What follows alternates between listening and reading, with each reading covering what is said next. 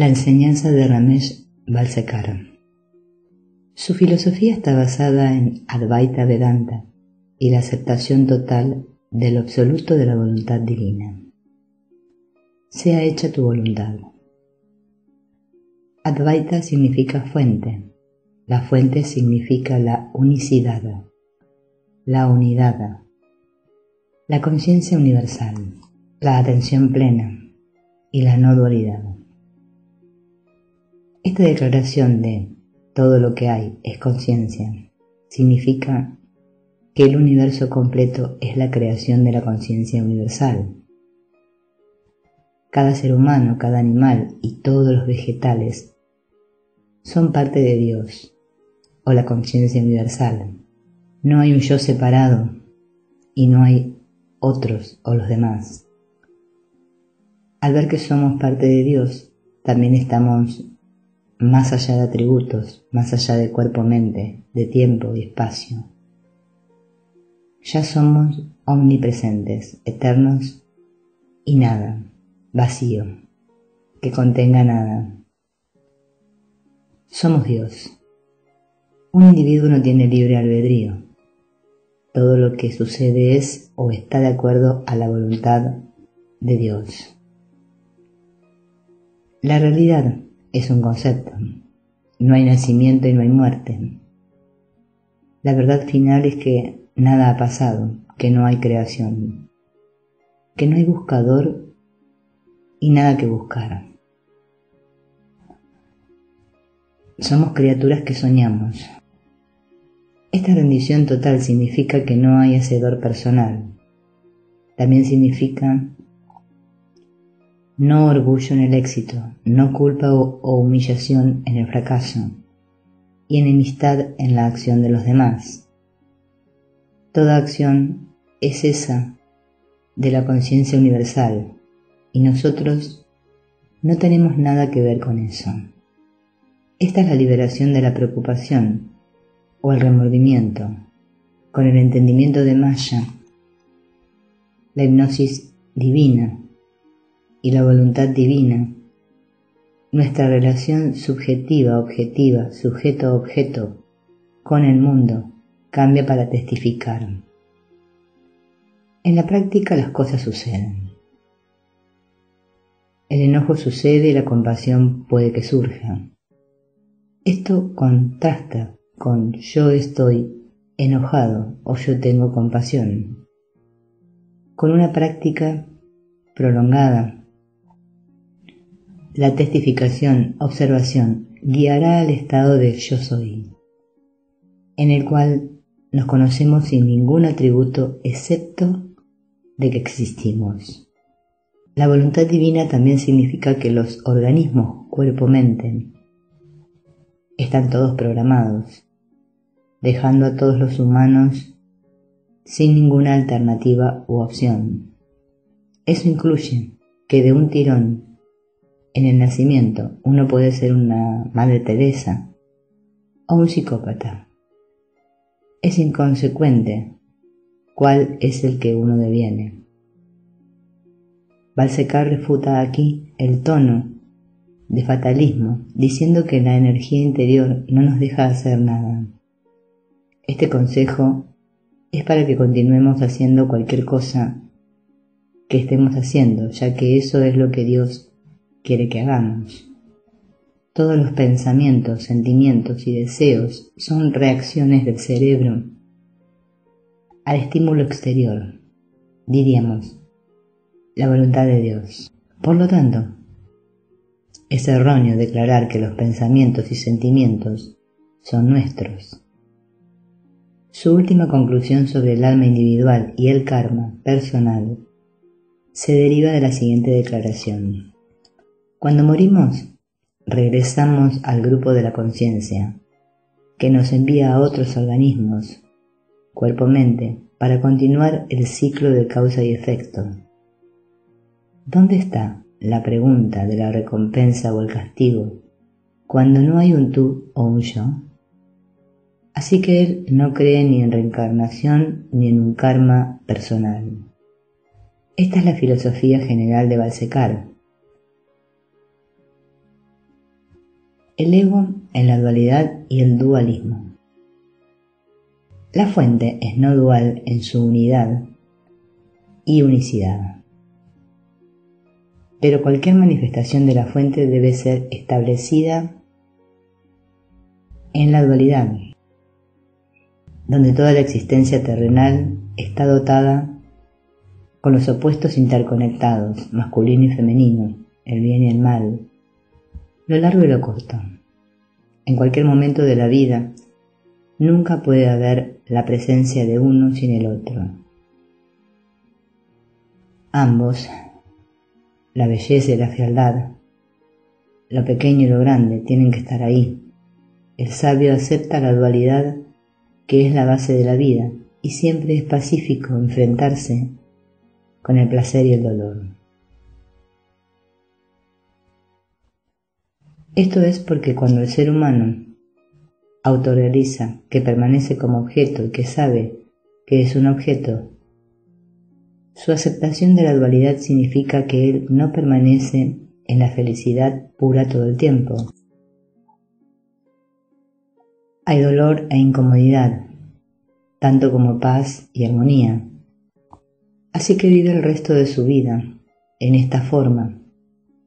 La persona ordinaria, Jiva, no acepta la dualidad y escoge uno de los opuestos dualismo. Solo quiere el bien y no el mal, la belleza y no la fealdad. Así que en su juicio escoge uno en contra del otro. Por lo tanto, el Jiva termina miserable en el dualismo. No aceptar lo no bueno en la vida siempre significa infelicidad.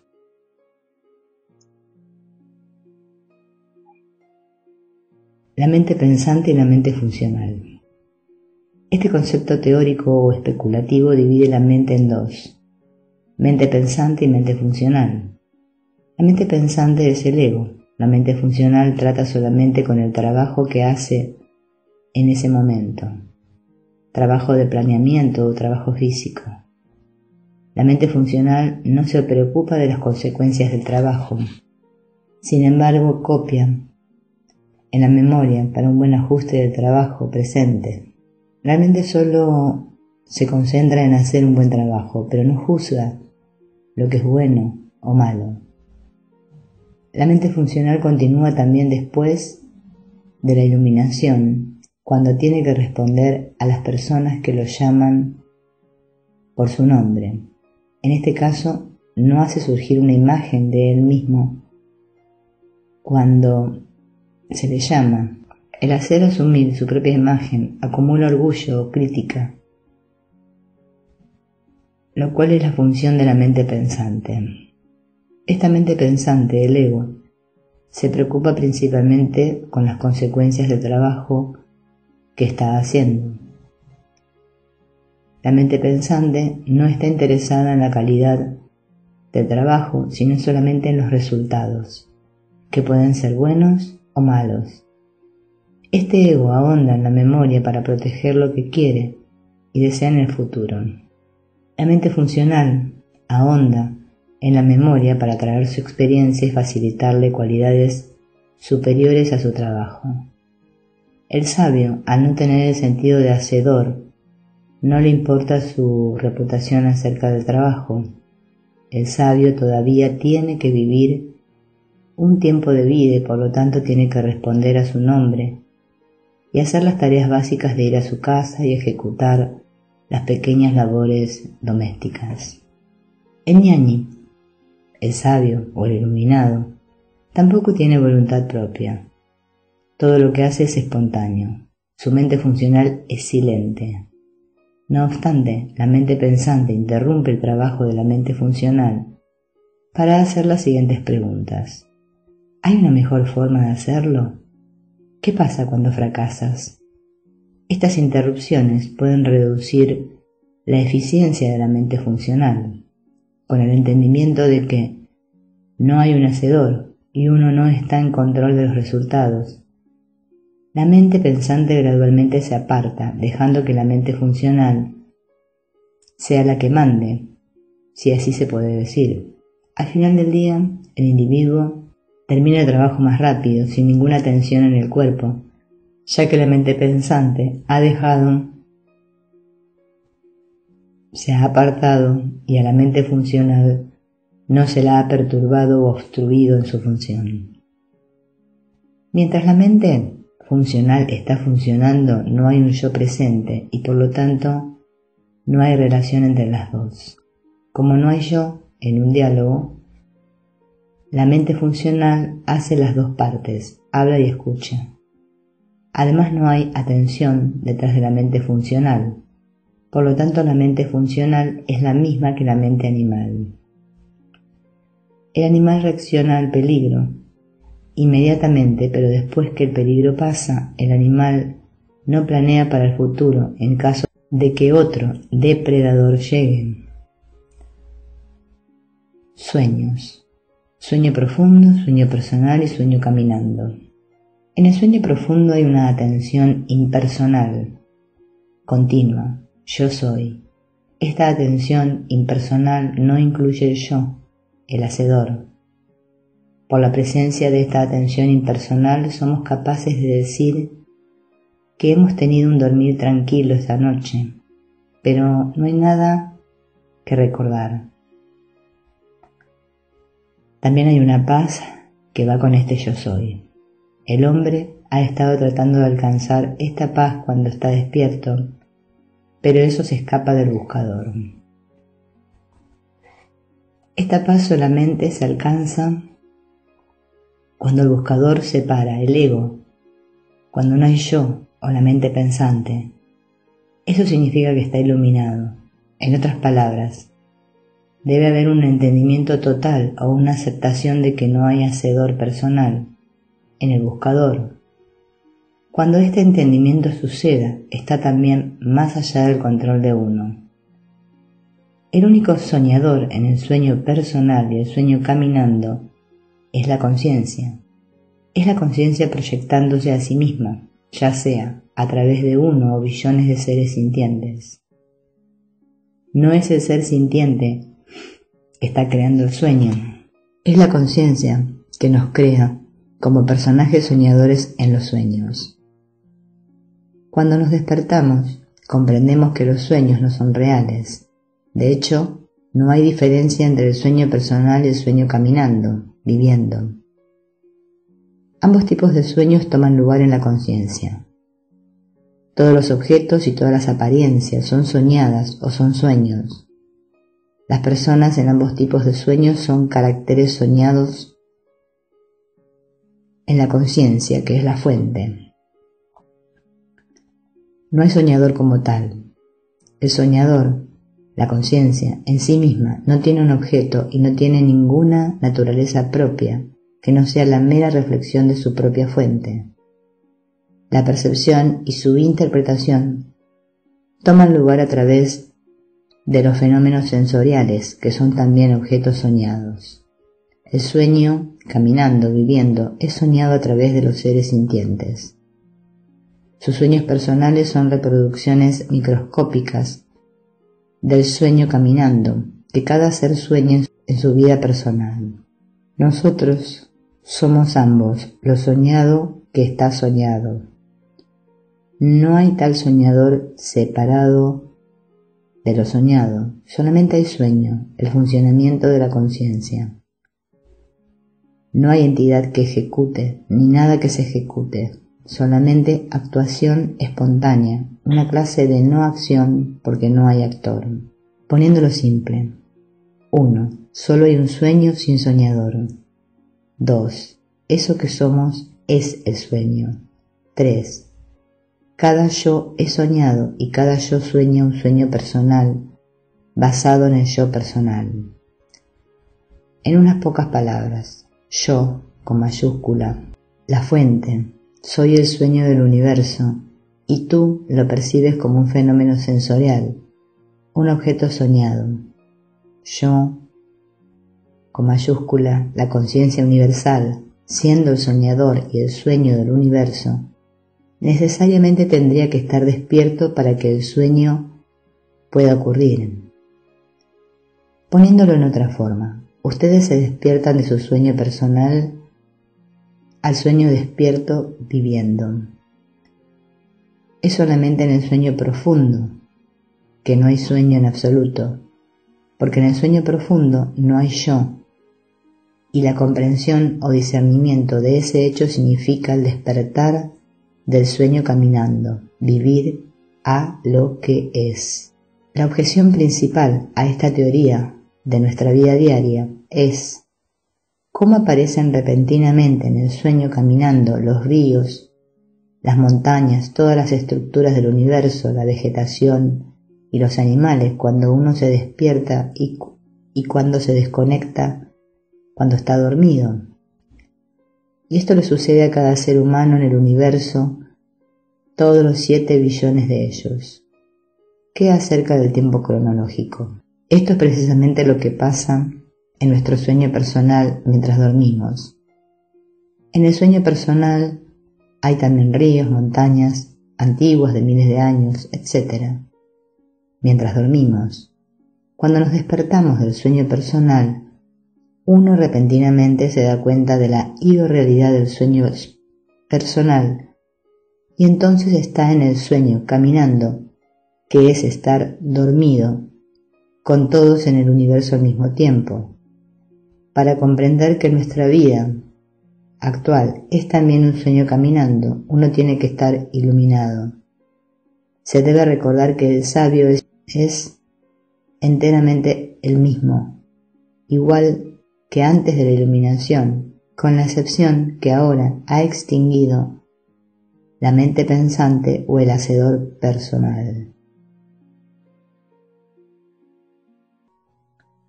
La computadora humana Ramesh describe diestramente a un ser humano como una computadora. El hardware es el producto de la consumación de los padres, de manera que las características externas llegan de cada uno de ellos. El software está condicionado por la fuente. Desde el nacimiento, esta computadora en miniatura se condiciona por los padres, los maestros, los profesores, los mentores, los templos e iglesias, y a través de lo que lee y experimenta desde pequeño. Por lo tanto, cada ser humano es una computadora programada individualmente con reacciones específicas e innumerables aportaciones. Hay más o menos 7 billones de esas computadoras en el mundo.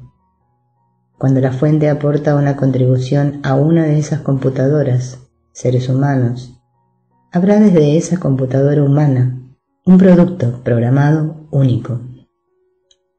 Ninguna otra computadora tendrá el mismo resultado reacción-producto, ya sea si esta computadora es un hombre ordinario o un sabio. El producto o la reacción será la misma. Esto significa que la iluminación no altera la reacción emocional del sabio. Él está todavía sujeto al enojo, al temor y la compasión, si estos son los rasgos en su software. Una contribución puede ser un pensamiento o el escuchar algunas palabras pronunciadas por alguien. Puede ser una escena que haya observado o visto. Todas estas contribuciones están más allá de él. Las reacciones son reacciones automáticas de una computadora cuerpo-mente a las contribuciones. Ambas, las contribuciones y las reacciones, están más allá de su control. Él no está en control o poder de la situación. La mayoría de los budistas o hinduistas objetarán esta conclusión, ellos esperarían mucho más amor, compasión y sabiduría en un sabio, mientras que el enojo, el temor, el orgullo y el egoísmo casi se habrían eliminado. Sin embargo, a Ramesh le gustaría que consideráramos que el surgimiento del temor y su reacción de huir de él es parte de la programación y condicionamiento de la computadora. Así que el huir del peligro en un sabio está enteramente en su carácter de sabio, si él está programado así. Llorar en el dolor. Padre, ¿por qué me has abandonado? Es también normal para un sabio como Jesús. Pero un sabio no debe demostrar egoísmo, enojo, orgullo y engaño. Cuando a un monje se le dice que incluso Jesús lloró de dolor en la cruz, él responde enojado, pero Jesús nunca se iluminó. Un sabio o un santo es una computadora humana que ha eliminado el sentido de hacedor, pero no el ego. El ego se requiere para vivir el resto de los años de su vida. El sentido de hacedor es la mente pensante que involucra el pensamiento horizontal de regresar al pasado y tener al futuro. También significa que el sabio no acepta el condicionamiento nuevo. Está usando la mayor parte de las veces el condicionamiento viejo, que está compuesto de sus genes, ADN, y su programación temprana. Ahora el sabio concluye que ninguna acción es mi acción ni la acción de nadie. Toda acción es un suceso divino a través de alguna computadora humana. Todas las acciones llegan por la fuente o Dios a través de las computadoras humanas que están programadas exclusivamente para esas acciones. Si un ego individual trata de nadar en contra de la corriente de la vida, incurrirá en el dolor y experimentará sufrimiento. Habiendo perdido el sentido de hacedor, su reacción es diferente. Disfruta una comida, pero no pide una repetición de ella, ya que no hay mente pensante. El dolor sufrido no culpa a nadie por el dolor, ya que ha sido provocado por la fuente.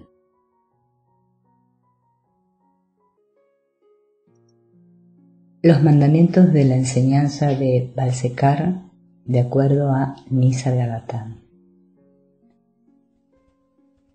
1. Noúmeno. Esta es la fuente o Dios, que es pura subjetividad. No está alerta de su propia existencia. Es sólo en el surgimiento de la conciencia yo soy que la atención de su existencia llega a ser. Este surgimiento espontáneo de la conciencia trae el sentido de presencia o existencia. Al mismo tiempo la dualidad se presenta con el surgimiento de la manifestación fenomenal de la conciencia. La totalidad del noumeno se divide en la dualidad de pseudo sujeto y el objeto observado. El objeto asume que él es un sujeto que hace surgir un yo. Los demás objetos devienen los otros. Para que esta relación sea exitosa en la dualidad, se debe introducir el concepto dual de tiempo y espacio. Sin espacio, el objeto tridimensional no puede visualizarse.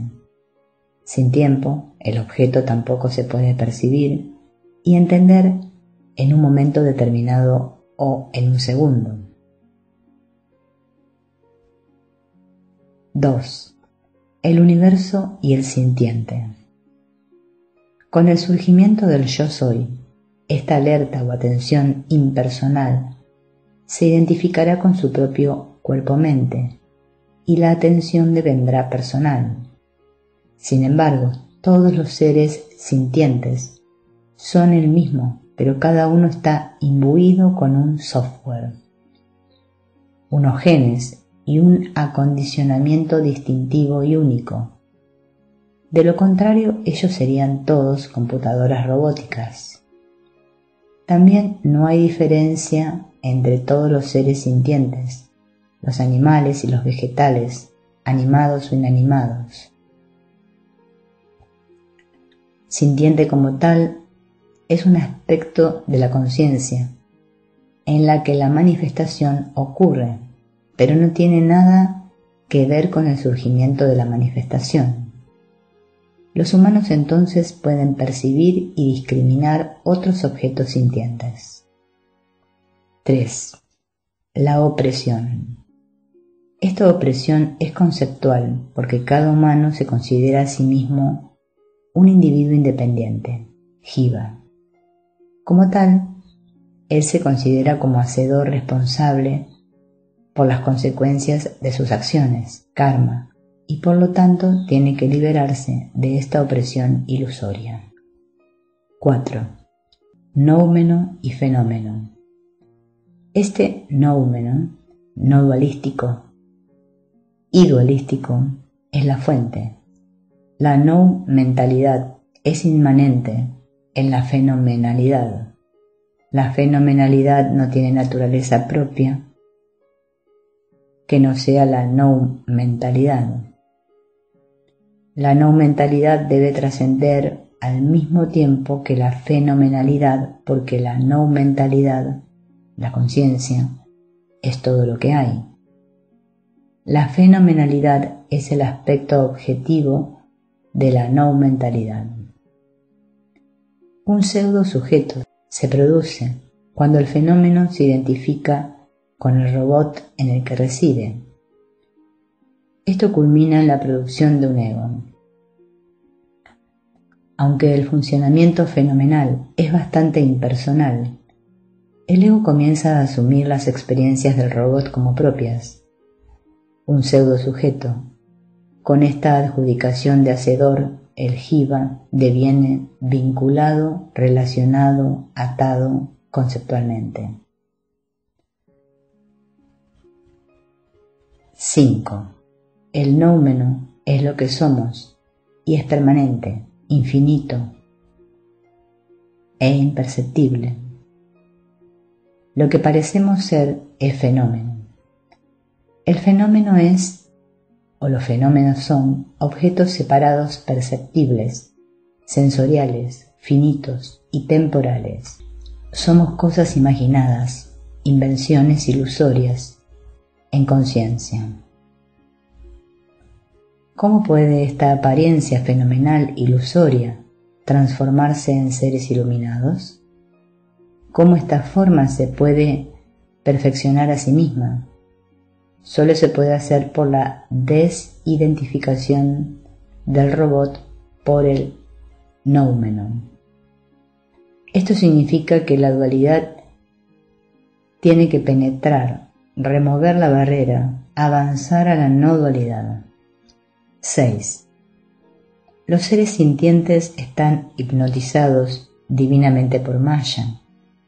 Ellos creen que son individuos separados con su propia voluntad y que sus vidas están controladas y que avanzan por su propia decisión.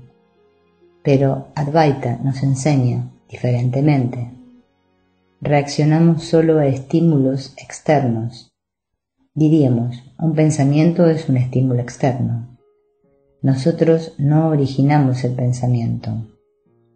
A este pensamiento externo le sigue una cadena de reflejos y acciones más allá de nuestro control. La computadora hace un seguimiento con toda la reacción automática programada en el robot y el acondicionamiento de la edad temprana, el instinto, los hábitos y la propaganda prematura de los padres y maestros. El concepto de yo ha asumido erróneamente que toda la actividad se le atribuye a él, que es meramente un mecanismo psicosomático o una entidad sin esencia real.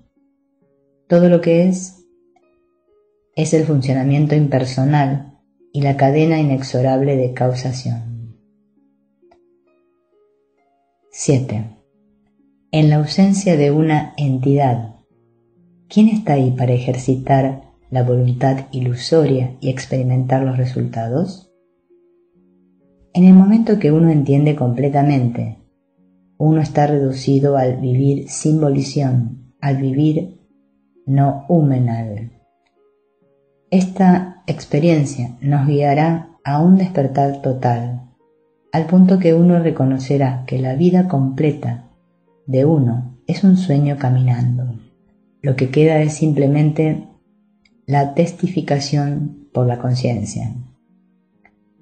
Esta testificación no volitiva de lo que sucede sin juzgar surge junto con una relación no objetiva para ambos, uno mismo y los demás.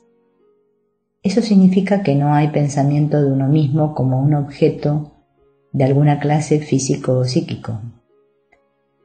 Esto naturalmente resulta en una relación no objetiva con los demás. También significa que todos los fenómenos, sintientes o no sintientes, no se miran más como objetos.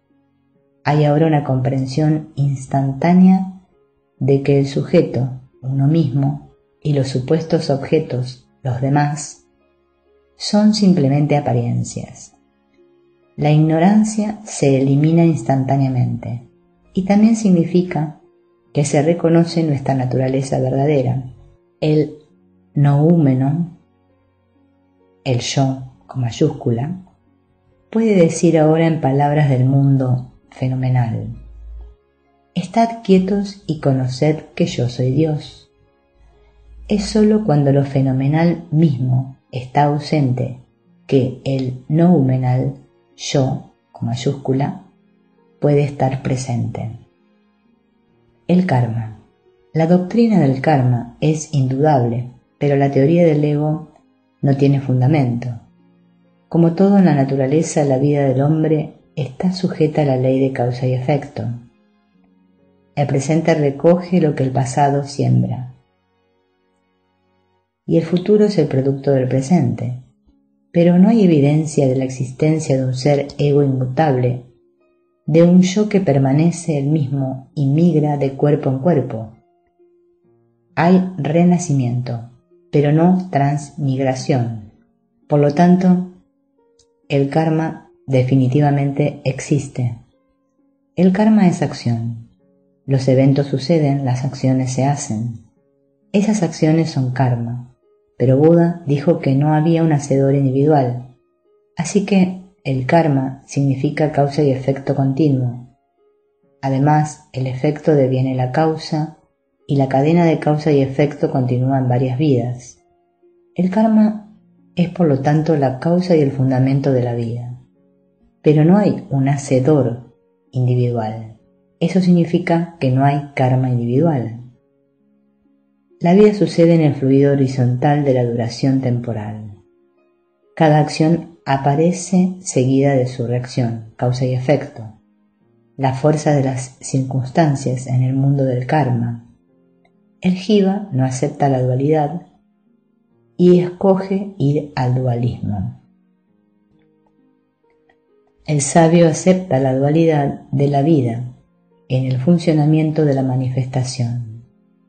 Por lo tanto, el sabio vive y piensa en una dimensión vertical que guía a cierto desapego en su visión, en la ausencia de una relación sujeto-objeto.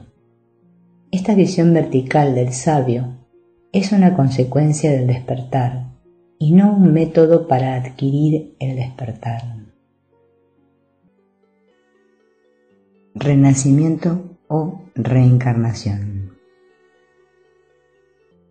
De la afirmación anterior del Buda, él dijo, hay renacimiento, pero no transmigración, reencarnación. Sin embargo, Balsecar parece que los empaqueta ambos, renacimiento y reencarnación, como una entidad. Él los usa sinónimamente. Por lo tanto, en el glosario de uno de sus libros dijo, no hay individuo, así que no hay renacimiento, o eso que no existe. Hay nacimientos pasados y de ellos, en las muertes de los organismos cuerpos-mentes, las energías que funcionan regresan al grupo de la conciencia para quizás de nuevo, en otra combinación, pasar a un futuro organismo cuerpo-mente. Por lo tanto, hay memorias aparentes de vidas pasadas por algunos otros organismos cuerpos-mentes de nacimientos anteriores, que se recogen por individuos no relacionados. Eventualmente las energías de ese refinamiento pueden unirse a un organismo cuerpo-mente en el cual el proceso de búsqueda termina en iluminación.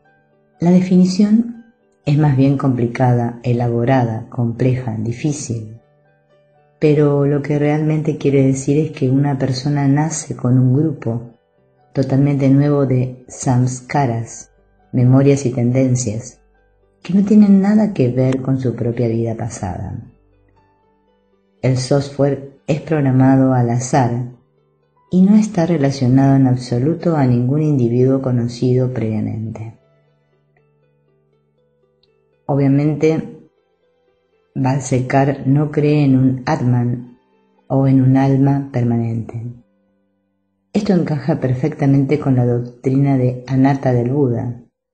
La doctrina Anatta estipula que el complejo cuerpo-mente no tiene nada, interior o exterior, como una entidad ego autoexistente verdadera, o un yo real o un alma o cualquier otra sustancia que exista habitando.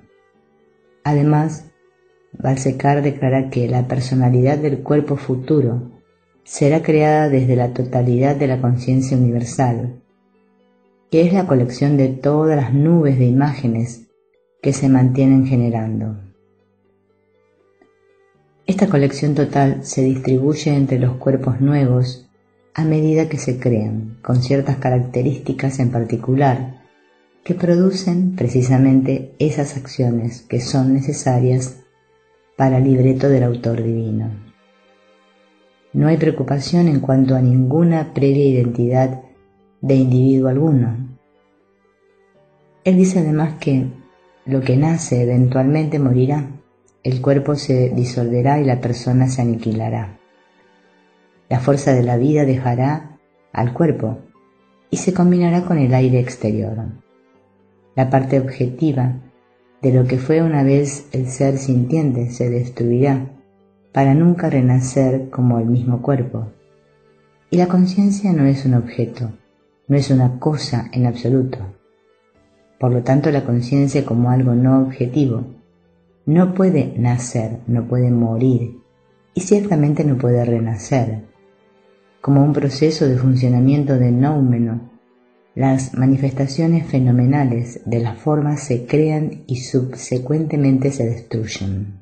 No hay alma o ego en estas series de nacimientos y muertes. Entonces, ¿quién renace? Si lo anterior es el caso, ¿Cómo surgen los conceptos de karma, casualidad y renacimiento? En lugar de tomar al ser fenomenal como una mera manifestación del noumeno, el ego se equivoca en identificar la pseudo-identidad como un yo, creando una aparición con existencia autónoma. Se supone que esta aparición tiene una opción de decisión y acción, y se toma como un yo que nace, vive y muere. Entonces deviene un ser que acumula karma con la ayuda de la represión o carga de la que se debe liberar. Esta teoría continúa trabajando ya que el mismo yo renacerá después de la muerte, seguido por el karma que ha acumulado. Citando a Nisargadatta para respaldarlo, él dice que en la enseñanza del Maharaj no acepta el concepto de renacimiento. El cuerpo físico muere y se disuelve en decadencia, y este cuerpo no puede renacer. La respiración después de la muerte se mezcla con el aire, y el sintiente se reintegra con la conciencia universal. ¿Qué acerca del alma? Esta es una creencia en un ánima o alma que debe ser un objeto que pase de un cuerpo a otro, vida tras vida. Esta ánima o objeto, alma, solamente puede ser un concepto. Tampoco no hay manera que la subjetividad pueda tener un acto de entitificación o se pueda convertir en una entidad. Porque la subjetividad, el noumenon, no tiene en absoluto ni siquiera un toque de objetividad, excepto a través de la manifestación de la dualidad. En el juego de sueño temporal, donde los seres sintientes se crean y destruyen cada segundo por miles, la evolución debe obviamente estructurar el fundamento del juego de la vida.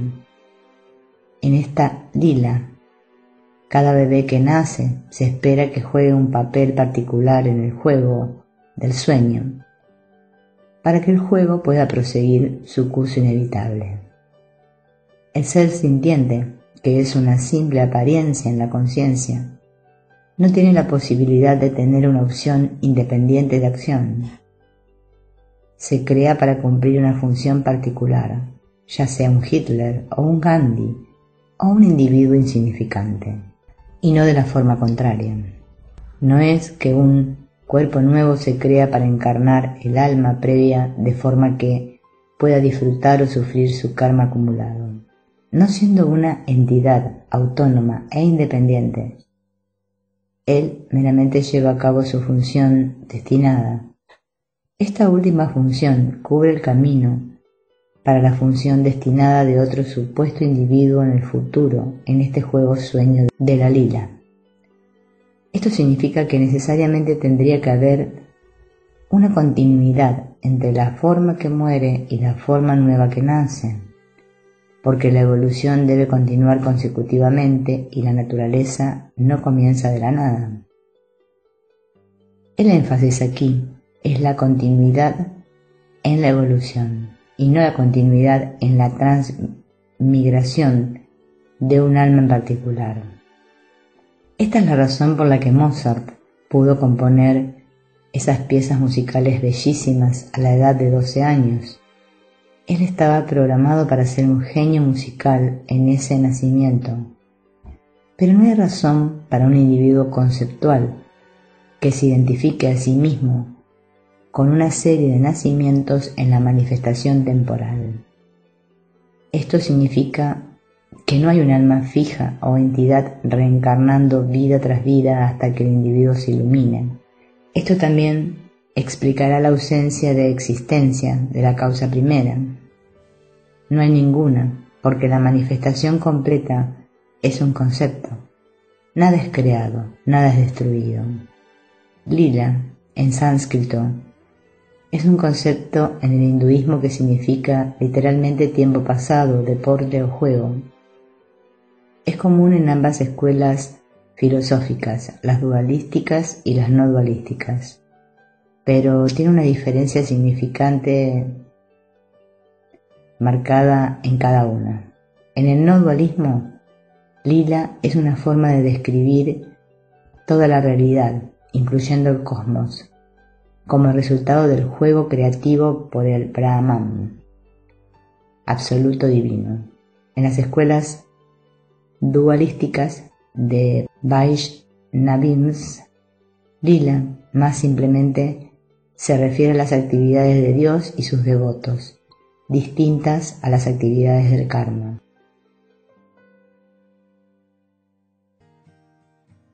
La iluminación o la autocomprensión. Balsecar dice, la iluminación no es una alteración en nuestro estado, es solamente una revelación repentina de nuestro estado, o lo que siempre hemos sido y no hemos comprendido. Subjetividad pura. La discriminación entre los opuestos interconectados en el cual la fuente se ha extendido por sí misma a través del espacio y tiempo es la opresión carga conceptual. La aceptación de la dualidad de los opuestos interconectados en el universo conceptual significa trascender el universo conceptual, la autocomprensión, la iluminación, el despertar, el final de la carga o la opresión o el yugo. La iluminación o despertar no es un estado de existencia como ese de una piedra o un vegetal. Es un estado que surge consecuente en la convicción más profunda posible en la unicidad de lo que es y de la no diferencia entre lo que es y lo que aparece. Surge después de una metódica y sistemática autobúsqueda, al final de la cual todo acondicionamiento mental del dualismo desaparece completamente. Es un estado de total libertad. Todo lo que parece y todo lo que sucede se acepta como una parte integral de lo que es. Y no hay el menor deseo de cambiar y o devenir nada en absoluto. Toda esta excitación de la iluminación existe porque el condicionamiento en el hombre ha invertido su punto de vista, hasta el extremo que lo hace pensar que la condición anormal de caos, inquietud y conflicto es su estado anormal. Piensa que el estado normal de paz profunda y satisfacción, vislumbres, de las cuales él ocasionalmente obtiene en esos momentos raros, cuando la mente está libre de pensamientos, es un estado anormal que se debe adquirir o alcanzar con un esfuerzo especial positivo, lo que indica la iluminación repentina es la reparación de la dicotomía de la mente completa, a través de la cual la división de la mente en sujeto y objeto deja de prevalecer. Entonces no hay sujeto percibiendo un objeto, no yo percibiendo y juzgando a un tú. Solamente hay el suceso de una percepción sin juicio, una mera testificación. ¿Cómo un ser iluminado sabe que está iluminado? La pregunta misma es una admisión de que la misma base o fundamento del sujeto se ha perdido. Cuando el fundamento mismo de la autocomprensión es ese sentido de volición-voluntad, el sentido de hacedor personal se ha perdido completamente o se ha aniquilado. Ahora ya no hay más yo o individuo. ¿Quién puede saber? ¿Quién necesitaría saber? ¿Y qué querría saber? ¿Quién es quien hace el conocimiento y conoce qué? El conocimiento no se puede separar para conocerse. ¿Qué más podría ser el sonido sino oírse? El ojo puede ver cualquier cosa, pero no puede ver lo que está haciendo el ver. La conciencia, siendo simplemente un símbolo conceptual por lo que hace el conocimiento, no puede tener ninguna cualidad objetiva que pueda conocer. ¿Qué es la autorrealización o autoentendimiento? La respuesta simple es que eso solo puede ser eso que permanece cuando esta conceptualización es erradicada. Ya no hay más de este tratar de visualizar y objetivar eso que en sí mismo produce el pensamiento y la visualización. En otras palabras, la misma objetivación de lo que se busca, la autorrealización, es el único obstáculo. Pensar en eso que estoy buscando y la manera de adquirirlo es el obstáculo. Para ponerlo en otra forma, la realización o comprensión de lo que somos, eso que se busca, no se puede conocer ni adquirir con el esfuerzo fenomenal conceptual, solamente puede suceder. El suceso necesita una mente vacía y la aceptación total de tratar de no hacer el esfuerzo, ya que una forma potente de obstrucción es hacerlo, el esfuerzo. No puede haber ningún método prescrito de detener el pensamiento, la conceptualización, el pensar debe y puede detenerse sin ningún esfuerzo por la entidad que conceptualiza. Solo puede suceder si se supone que suceda.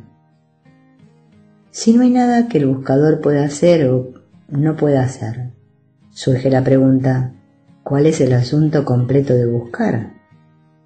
La respuesta es simple. Nunca ha habido un buscador. La búsqueda comienza como parte de un juego de la de la fenomenabilidad. Lo que el buscador conceptual busca es el final de la búsqueda. El final de la búsqueda no puede suceder sin un final del buscador. El final del buscador solamente puede suceder cuando el buscador conceptual se da cuenta o comprende la autorrealización, la autocomprensión, que nunca ha habido un buscador que haga una búsqueda, y definitivamente que nunca ha habido algo que buscar. Balsecar también dice, el hecho de que nosotros, como entidades separadas individuales, esperamos transformarnos nosotros mismos en personajes perfectamente iluminados, demuestra el punto hasta donde estamos condicionados por Maya. El poder de la hipnosis divina que ha creado mi yo. Solamente somos fenómenos personajes soñados jugando sus papeles respectivos. ¿Cómo una apariencia se puede perfeccionar a sí misma? ¿Cómo puede un aparato psicosomático, un organismo cuerpo-mente condicionado, perfeccionarse a sí mismo? Solo el despertar puede hacer que el personaje soñado desaparezca. Solamente la desidentificación con el sentido de hacedor personal en una supuesta entidad puede traer el reconocimiento de nuestra verdadera identidad. Y esto no puede suceder hasta que nuestra voluntad o volición conceptual se ha rendido completa y totalmente. La mayoría de los buscadores no comprenden totalmente lo que están buscando cuando se iluminan. Sienten que debe haber algo de este mundo, algo desconocido. Algunos buscan por la paz que acompaña el sueño profundo mientras están despiertos la base de esta paz es que no hay hacedor en el sueño profundo. Así que este buscador debe erradicar el hacedor a través del entendimiento intuitivo. De hecho, es la realidad suprema, el uno, sin segundo. ¿Cómo uno lo hace? Ellos piensan que el entendimiento intelectual es capaz de ayudar. La verdad es que el intelecto es inútil en esta búsqueda el desarrollo del despertar intelectual debe trascenderse. Para que se encienda el bombillo o para darse cuenta de la situación, la mente tiene que estar totalmente silente, como en la meditación profunda. Ambas, la mente pensante y la mente funcional, no deben operar. También todo condicionamiento desde el nacimiento se debe borrar totalmente. En este vacío total, el buscador puede entonces comprender que no hay buscador o hacedor en absoluto. El entendimiento esencial. El entendimiento esencial es que todos somos objetos. Nos percibimos, nos imaginamos, visualizamos y nos interpretamos unos a los otros. El percibidor se considera a sí mismo el sujeto de todos los demás objetos. Pero de hecho, somos meras apariencias en la conciencia del que nos percibe. Si hay una sola fuente de percepción, es Dios, o la conciencia universal percibiendo a través de múltiples organismos, cuerpos, mentes, que simplemente son sombras no somos entidades reales o verdaderas. Si podemos entender esta situación y continuar viviendo nuestras dobles vidas en la dualidad, entonces no haremos el error de identificarnos con los organismos cuerpo-mente. Estos más tarde son simplemente robots computarizados. No hay esencia sustancial en ellos. Podemos vivir en la dualidad, pero no gratificarnos en el dualismo. Si removemos el concepto de tiempo, entonces rompemos la cadena de la restricción, esclavitud, limitación. Estamos ahora en el tiempo infinito, junto con la fuente como yo, la presencia subjetiva, la ausencia objetiva. Todos somos parte de la única subjetividad sin la menor evidencia de cualquier objeto. En esta chispa de sabiduría nos damos cuenta que nunca ha habido un buscador, que nunca ha habido un hacedor. Esta es la penetración en el no dualismo. Ahora nos hemos desidentificado con una entidad que se supone tiene voluntad. Ahora por el resto de los años de nuestro tiempo de vida tenemos que seguir identificándonos con los organismos cuerpo-mente, sin volición o voluntad para vivir y funcionar en el mundo. Esto de acuerdo a Ramana Maharshi, como los remanentes de una soga quemada. ¿Cuál es la diferencia entre el sabio y la persona ordinaria? La iluminación es la disociación de la entidad con el dualismo, pero no de la dualidad, porque la dualidad es donde vivimos. El sabio, lo que surge en la mente como una reacción del cerebro para cualquier suceso en la vida, como un evento con el cual no está preocupado. Cualquier cosa que surja, enojo o temor, etc., el sabio no se identifica con ella, ya que ha realizado o comprendido que no hay individuo hacedor en su cuerpo. Es solamente el cuerpo-mente que se preocupa con lo que pasa. El sabio simplemente es un testigo de cada suceso, sin sentirse responsable, ya que no es el hacedor y por lo tanto no está obligado a hacer nada acerca de eso. El sabio sabe, conoce, que lo que sea que es en ese momento es exactamente lo que se supone que sea de acuerdo a la ley cósmica. La persona ordinaria está convencida que es responsable de cualquier situación en que se encuentre. Si es exitoso es porque siempre ha hecho lo necesario en la situación existente. Si ha fallado es porque los demás han conspirado en contra de él. La persona ordinaria es un objeto creado en la totalidad de la manifestación. No tiene evolución ni capacidad para saber o conocer la ley cósmica. Para que se autorrealice o autocomprenda, tiene que rendirse, él y todos sus atributos, totalmente a Dios o a la conciencia universal. Sea hecha tu voluntad. ¿Cómo vive un sabio su vida? Él no la vive, la vida le sucede.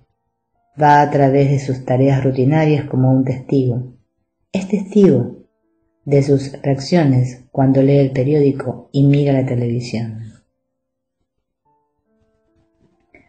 Él es testigo de la vida que sucede a través de su organismo cuerpo-mente particular y es testigo de las emociones variadas surgiendo cuando se pone en contacto con los demás organismos cuerpos-mentes. Elaborando un poco más, todos los tus y todos los yo son simplemente apariencias en la conciencia. Y además, la totalidad de la manifestación de la cual todos los seres sintientes son una parte intrínseca y su funcionamiento son como un sueño. Por lo tanto, la persona iluminada nunca puede considerarse a sí misma iluminada, porque el yo individual ya ha sido radicado al punto del despertar.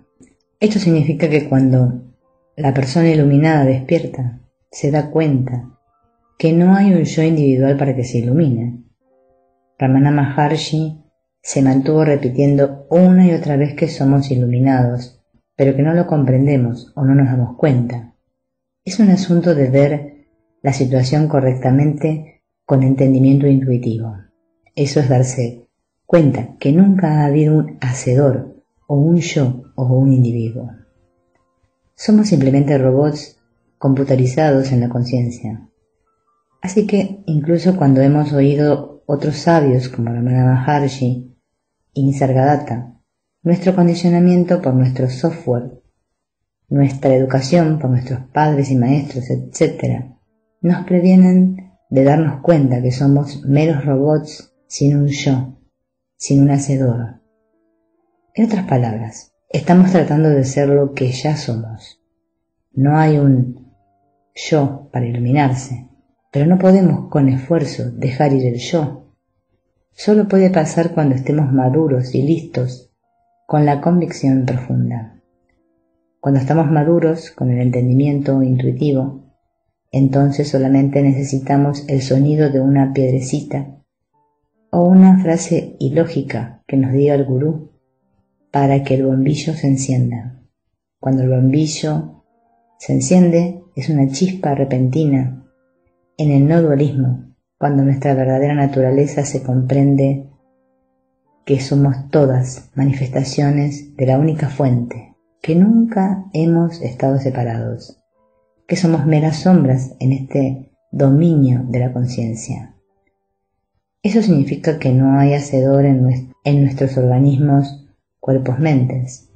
La consecuencia de este entendimiento es que nunca ha habido ninguna restricción, carga, y que por lo tanto tampoco no hay liberación. Tenemos que ser justamente ser, con mayúscula. Tenemos que deshacernos de la ilusión de que no estamos libres.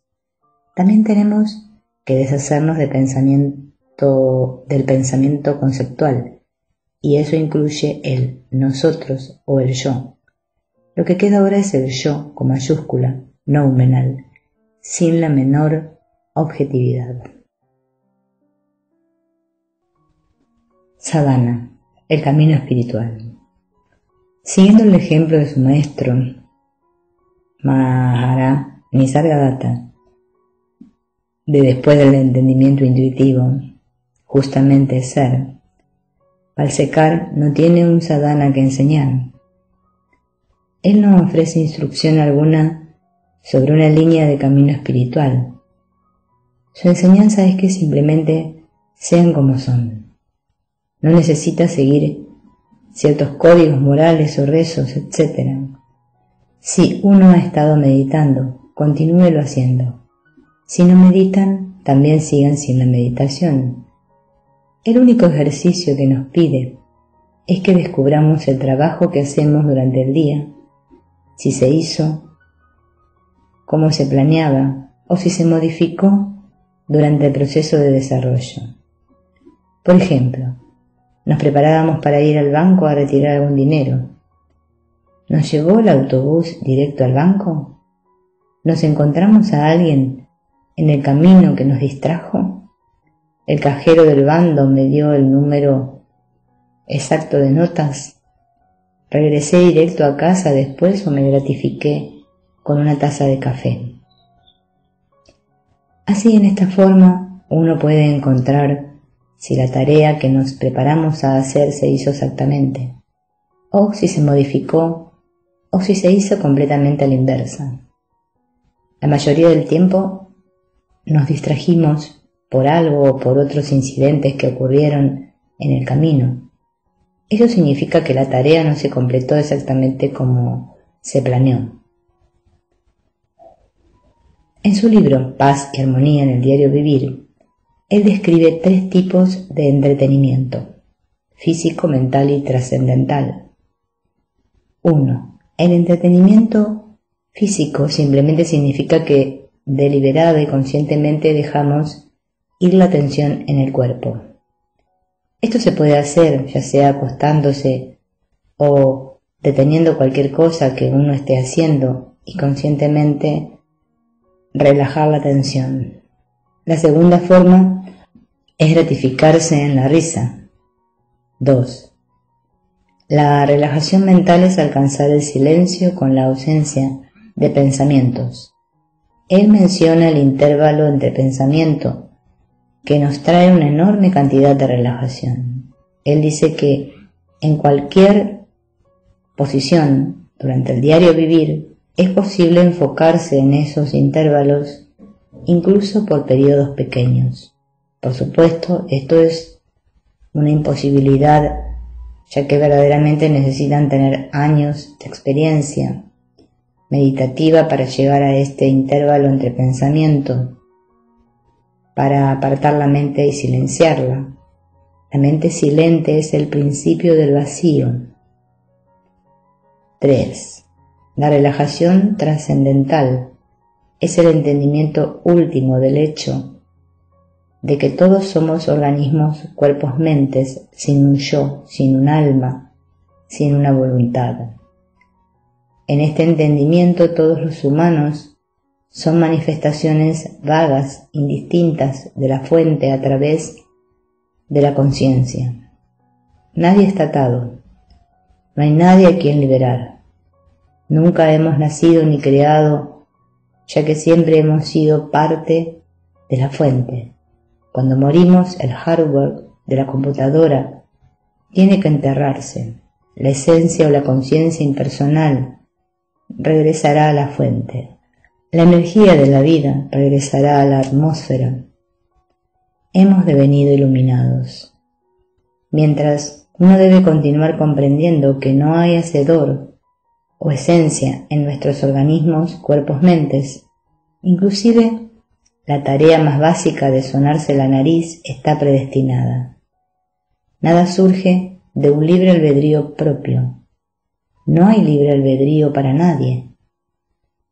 Cada pensamiento, cada acción es la voluntad de Dios. Simplemente somos robots actuando por la voluntad de Dios. Resumen. Cada uno de nosotros es un robot computarizado, energizado por la conciencia universal, que para empezar es impersonal, pero tan pronto como esta conciencia se identifica con un cuerpo-mente en el que habita, la ignorancia se localiza. Esta ignorancia hace que uno esté prisionero a través del concepto de que uno es un individuo separado, responsable por todos los pensamientos y acciones en ese individuo. Este hacedor también genera karma, que lo impulsará a uno a través de muchas vidas hasta que se libera de la prisión. Pero la verdad del asunto es que billones de humanos, animales, vegetales y objetos inanimados somos todos manifestaciones de Dios, la fuente o realidad, en la dualidad. Cuando un jiva ignorante escoge algo en esta dualidad, entra en el dualismo. La verdad es que no hay alma o esencia en todos los humanos, somos todos robots energizados por la conciencia de la fuente o Dios. Somos meramente sombras proyectadas por la computadora en un sol. Una vez dentro, la sombra no existe como en el sueño profundo, aunque el cuerpo humano esté todavía vivo y con el poder de la energía neutral de la electricidad durante el sueño profundo. Mientras uno practica el camino espiritual, un día uno se despierta con este hecho a través de la sabiduría intuitiva o el entendimiento. Entonces, repentinamente uno traspasa el dualismo al no dualismo.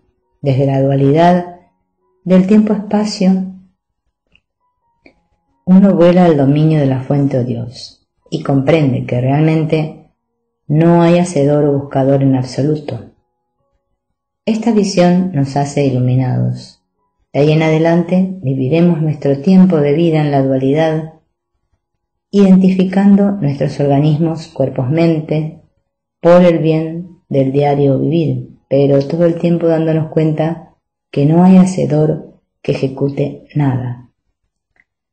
El sabio puede que todavía exhiba enojo y temor, pero esto es en acuerdo a la programación de su organismo cuerpo-mente.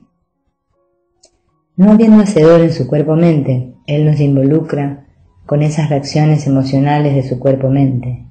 Él todavía necesita identificarse con él, su organismo cuerpo-mente, ya que tiene que responder a su nombre y llegar a la casa sin perderse. Necesita funcionar como un humano, comer, vestirse y ejecutar los deberes biológicos. Siempre regresará a su estado normal de paz y armonía ya que no hay mente pensante que le preocupe o le haga estar ansioso. Si su programación incluye un hábito no saludable de fumar, todavía fumará. Si su cuerpo-mente está hecho para responder fácilmente a las urgencias sexuales, todavía se gratificará en esas recreaciones. Esta puede ser una razón por la que algunos maestros espirituales avanzados aún están adictos al sexo al igual que a la adicción de fumar. No obstante, puede que no haya adicción a una persona en particular. Esta es un área confusa. Su sexualidad no parece impedirle su enseñanza. El sabio también puede estar sujeto al sufrimiento del cáncer. Ramana Maharshi y Nisargadatta Mahara. Sadhana. Hay solo tres puntos que vale la pena comentar. El primero es el hecho de que él no aboga por ningún sadhana y todavía habla acerca de alcanzar el intervalo silente entre pensamiento en la vida diaria. Como meditador, sé, conozco que toma años alcanzar este intervalo de pensamiento durante la meditación. Para alcanzar el silencio, que es la atención pura, plena de lo que es, eso sería una imposibilidad para una persona laica. No hay forma que una persona común u ordinaria pueda llegar a este intervalo entre pensamientos durante las tareas diarias sin una experiencia meditativa extensa. Esta es la razón por la que los buscadores espirituales orientales meditan, mientras que la meditación sola no puede llevarnos ahí, pero por lo menos puede darnos la mente silente la mayoría del tiempo.